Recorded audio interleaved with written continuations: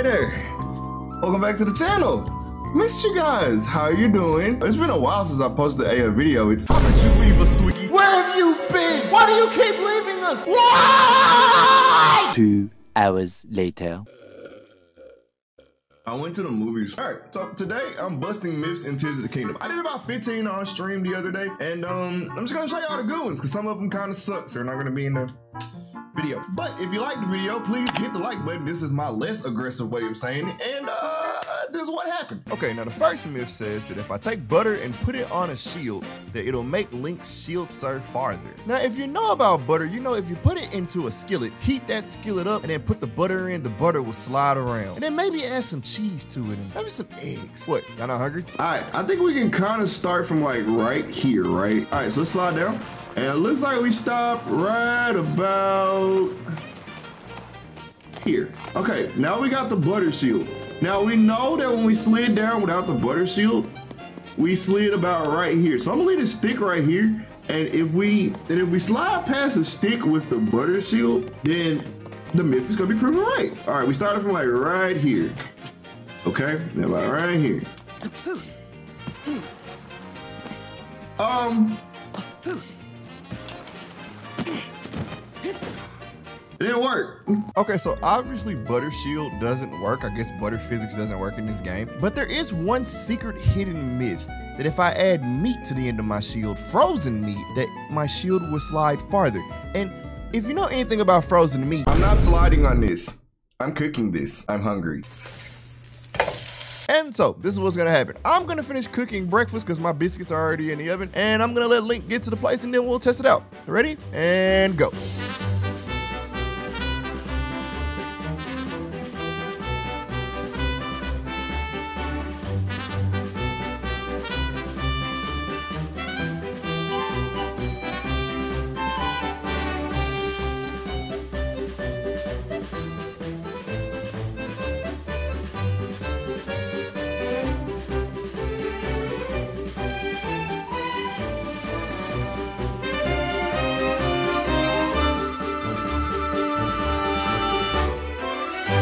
It's good. Okay, so the next myth is if I put a spring on my shield, it will stop fall damage. All right, here we go.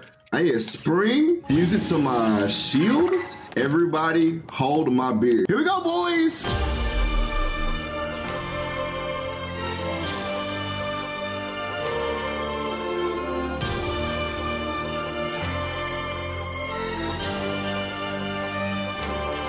Definitely. Oh. Okay, well that didn't work. But what if I strapped a bomb to my shield and jumped off the side of a cliff? You know, usually when you use bombs, they just launch in the air once you try to shield surf on them. So I wonder if it'll have the same effect if I, you know, jump off the side of a sky island. Yea, since the dawn of man, we have wondered what would happen if you took a bomb, strapped it to your shield, and then jumped off the side of a mountain. Ever swinging, play the music!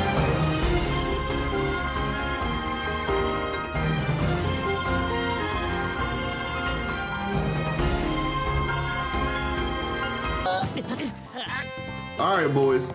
Now, here is where things get fun. Because now we are going to drop square off of the mountain again. All right, here we go, boys. Will it fall damage cancel? All right, boys. All right, fingers crossed. Here comes. Don't kill me.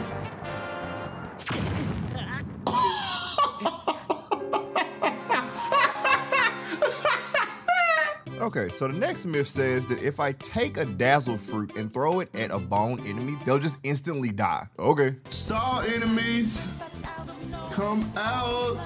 Oh, wait, there it is. Okay, I need a dazzle fruit now. Did it work? Oh, it worked. No, you don't. Stop. Yeah.